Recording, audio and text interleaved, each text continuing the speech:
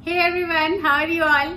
I'm Lucky and you're watching my channel Lucky Creations. और आप लोगों ने मेरे लास्ट वीडियो में देख लिया होगा कि मैं लास्ट वीक सरोजनी नगर गई थी और थोड़ा लेटली मैं ये वीडियो बना रही हूँ वैसे सरोजनी नगर हॉल वीडियो मुझे थोड़ा पहले बनाना चाहिए था बट क्या करूँ मुझे एक तो टाइम नहीं मिला प्लस दूसरी चीज़ है कि सरोजी नगर से जब आप कपड़े लाओ ना तो उसको वॉश करना होता है, फिर आप उसको सुखा लो आयन कर लो, और थोड़ा सैनिटाइज करके तब आप उसको पहनो तो ज़्यादा अच्छा होता है।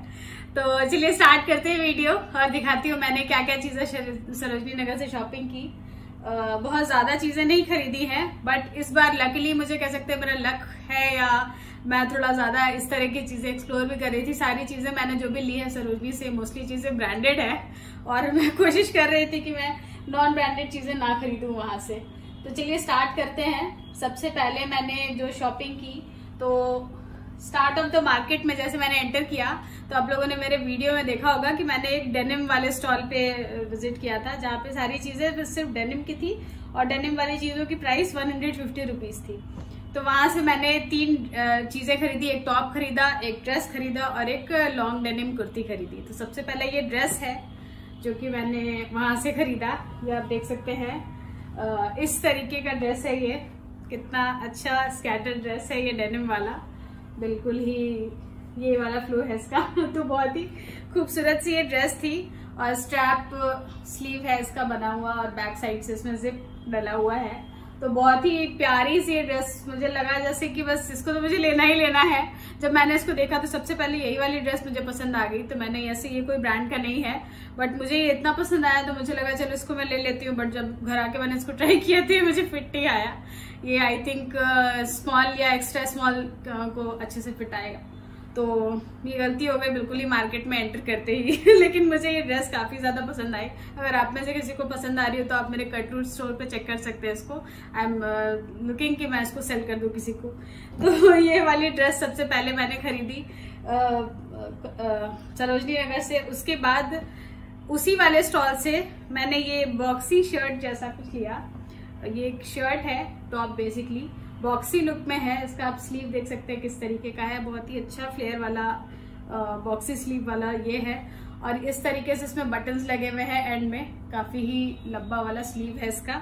और काफ़ी अच्छी एम्ब्रॉयडरी की गई है इसमें हर जगह। जब मैंने ये एम्ब्रॉयडर्ड पैटर्न इसमें देखा कि इस तरीके से एम्ब्रॉयडर्ड है ये तो मुझे एक मिनट के लिए ऐसा लगा कि जब मैंने इसको देखा स्टॉल पे लगा हुआ इस पर बहुत ही अच्छे से एम्ब्रॉयडरी वर्क किया हुआ था और काफ़ी कलरफुल सा ये था। दूर से ही मुझे ये दिख गया और काफ़ी वाइब्रेंट सा मुझे लगा। तो मेरे दिमाग में क्लिक किया कि जब भी मैं इस तरह के कुछ भी ड्रेसेस देखती हूँ ना वो मोस्टली जारा में इस तरह के कपड़े बहुत ज़्यादा मिलते हैं। तो मेरे दिमाग में क्लिक किया कि होना हो ये जारा ब्रांड से होगा। और जब मैंने इसका ब्रांड चेक किया तो ये जारा डेनिम वेयर कलेक्शन में से है। तो ये जो है साइज़ साइज़ मीडियम है ये. साइज़ सॉरी साइज़ स्मॉल है ये. थोड़ा सा बॉक्सी फिट में है तो मुझे बहुत अच्छे तरीके से फिट आ गया ये. और ये मैंने ले लिया. ये भी वन हंड्रेड फिफ्टी रुपीज़ का ही लिया. और एक्चुअली में जब मैंने इसको लिया तो मैंने बस ये जारा देख करके इसको ले लिया था और मेरे दिमाग में आया कि पता नहीं मुझे अच्छे से फिट आएगा, नहीं आएगा या मुझ पर अच्छा लगेगा या नहीं लगेगा. बट जब मैंने इसको वॉश किया और पहना तो मुझे लगा कि वाह यार ये तो अच्छा लग रहा है. तो ये मेरा सेकेंड परचेज हो गया, जो कि मैंने वहाँ से लिया. अब दिखाती हूँ मैं थर्ड मैंने क्या लिया. थर्ड मैंने एक कुर्ती खरीदी जो कि उसी वाले स्टॉल से लिया। This is basically long shirt dress और कुर्ती आप कह सकते हैं इसको। शर्ट uh, ड्रेस तो नहीं कहेंगे मुझे मुझे लगता है इसको कुर्ता ही कह सकते हैं क्योंकि यहाँ पे साइड से स्लेट बना हुआ है। और इसमें कहीं पे भी वेस्ट बेल्ट जैसा कुछ लगाने का नहीं है। और इस तरीके का ये डेनिम कुर्ता काइंड ऑफ़ है और ये है brand Forever twenty one से। तो this was my third purchase काफ़ी अच्छा सा उसका फैब्रिक बहुत अच्छा है। काफ़ी फ्रेश uh, अच्छा सा ये कुर्ता था वहाँ पे। तो उसी वाले सेम स्टॉल से मैंने ये वन हंड्रेड फिफ्टी रुपीज़ का लिया, जो कि है brand Forever twenty one से। तो this was my third purchase अब आगे आते हैं कि आगे मैंने क्या लिया। उससे थोड़े आगे बढ़ने के बाद, मैं एक ज्वेलरी स्टॉल स्टॉल पे रुकी थी तो लेटली आएँगे उस पर कि मैंने ज्वेलरी में क्या क्या चीज़ें खरीदी है। लेकिन उसके बाद फाइनली मैं एक, ऐसे स्टॉल पे रुकी थी, जो कि बिल्कुल ही बिग सी के जस्ट फ्रंट वाले फ्रंट वाले शॉप पे छोटी छोटी सी दुकान थी और वहाँ पे बहुत सारे लेदर के स्कर्ट्स मिल रहे थे। सिर्फ़ और सिर्फ़ स्कर्ट्स थे बहुत वैरायटी के। तो ये मैंने वहाँ पर से एक स्कर्ट लिया लेदर का, आप देख सकते हैं रेड कलर का ये स्कर्ट है। और पहनने के बाद बहुत ही ज़्यादा क्यूट लग रहा था। मुझे एक्चुअली में जब मैंने इसको पहना तो मुझे लगा जैसे कि वाह ये तो बिल्कुल कुछ party wear kind of stuff है। तो ये मैंने ले लिया, एक लेदर का ये वाला स्कर्ट लिया मैंने और एक और मैंने ये वाला स्कर्ट भी लिया वहाँ से और ये है ब्रांड रिवर आइलैंड से। मोस्टली रिवर आइलैंड के कपड़े अगर आप ऑनलाइन देखेंगे तो बहुत ही महँगे होते हैं। बट ये दोनों स्कर्ट्स मैंने हंड्रेड हंड्रेड रुपीज़ में लिया उस सेम स्टॉल से। जब मैंने ये दोनों स्कर्ट्स ले लिए, ये वाला स्कर्ट आप देख सकते हैं, ये जो मिडिल में डिवीज़न वाला ये जो डिज़ाइन है, आजकल बहुत ही ज़्यादा फ़ैशन में है ऑलमोस्ट एक एक साल से इसका फ़ैशन काफ़ी चल रहा है। बैक साइड से बिल्कुल प्लेन है और साइड में यहाँ पे दो पॉकेट्स बने हुए हैं। तो ये वाला जो, ये वाला जो स्कर्ट है, ये दोनों मैंने स्कर्ट हंड्रेड हंड्रेड रुपीज़ में लिया। जब मैंने स्कर्ट लिया तो मेरे दिमाग में हमेशा ही चलता रहता है कि भाई जब स्कर्ट लिया है तो उसका सेट मैचिंग कोई टॉप जैसा भी कुछ लेना है मुझे। तो उसके बाद मैं थोड़े आगे गई ग्रेफिटी लेन के बिल्कुल एंड में जहाँ पे टॉप्स मिल रहे थे, वहाँ से मैंने ये दो टॉप्स लिए थ्री हंड्रेड रुपीज़ का दो दो लिया मैंने। भैया, एक का प्राइस कह रहे थे थ्री हंड्रेड रुपीज़ बट मैंने वहाँ पे बार्गेनिंग की और उसके बाद मैंने थ्री हंड्रेड रुपीज़ में दो टॉप्स लिया। तो एक ये है और दूसरा ये है और बहुत ही ज़्यादा हाईली स्ट्रेचेबल टॉप्स है दोनों के दोनों। इसका फैब्रिक थोड़ा ज़्यादा अच्छा है, इसका थोड़ा सा लाइट सा है फैब्रिक और काफ़ी ही ज़्यादा स्ट्रेचेबल है ये टॉप बिल्कुल, जब आप देखोगे तो आपको लगेगा कि ये तो मुझे नहीं आएगा, ये तो बच्चे का कपड़ा है बट जब आप पहनोगे तो बिल्कुल अच्छे से फिट आ जाएगा। और इसका ये जो स्लीव है फ्रेंड्स इसमें मैंने थोड़ा सा कुछ चेंजेस करवाए हैं बेसिकली इसलिए ये वीडियो बनने में इतना टाइम लग गया, क्योंकि एक्चुअली ये जो स्लीव था, ये इस जगह पे अटैच किया हुआ था। और ये बेसिकली एक ऑफ़ शोल्डर टॉप जैसा कुछ बनता जिसमें स्लीव्स यहाँ पर अलग से लगा, लगाया हुआ होता अटैच होता। बट मैंने यहाँ से निकाल के उसको यहाँ पे ऊपर लगवा दिया ताकि ये इस तरीके का एक टॉप बन जाए स्लीवलेस वाला। और नॉर्मल सा लगे थोड़ा सा ताकि वेरेबल हो, थोड़ा बहुत ज़्यादा ऐसा ना लगे कि बिल्कुल मैंने चीप सा कुछ पहन लिया है। तो इसमें छोटा सा ये चेंज किया मैंने और ये टॉप बिल्कुल ही डिसेंट सा अच्छा सा दिखने लगा। तो इस तरीके से मैंने इसको और टेलर ने मेरे से अराउंड ट्वेंटी रुपीज़ लिए दोनों स्लीव्स को यहाँ पे ऐड करने का। तो मुझे लगा, भाई, ठीक है, कुछ एक्स्ट्रा पैसे लगाकर अगर आपके कोई कपड़े जो आपको लग रहा है आपके हिसाब से परफेक्ट नहीं हो पा रहे और आप उसको थोड़ा सा चेंज करा के अच्छा कर सकते हैं तो कोई बुराई नहीं है उसमें।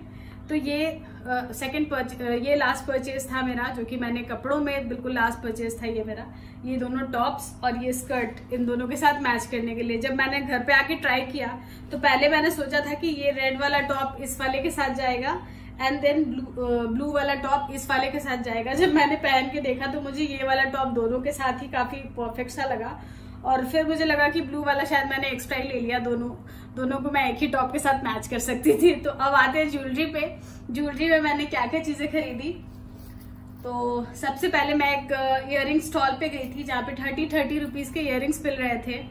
तो ये मैंने सबसे पहली ज्वेलरी खरीदी, आप देख सकते हैं। इयर है, झुमका इयर बहुत ही अच्छा सा बिल्कुल, वो जो कहते हैं कि बिल्कुल ही क्यूट सा झुमका, बड़े साइज़ का। तो इस तरह की एक झुमकी मैंने खरीदी एंड देन सेकेंडली मैंने एक और झुमकी उसी वाली शॉप से ली, जो कि मल्टी कलर में है।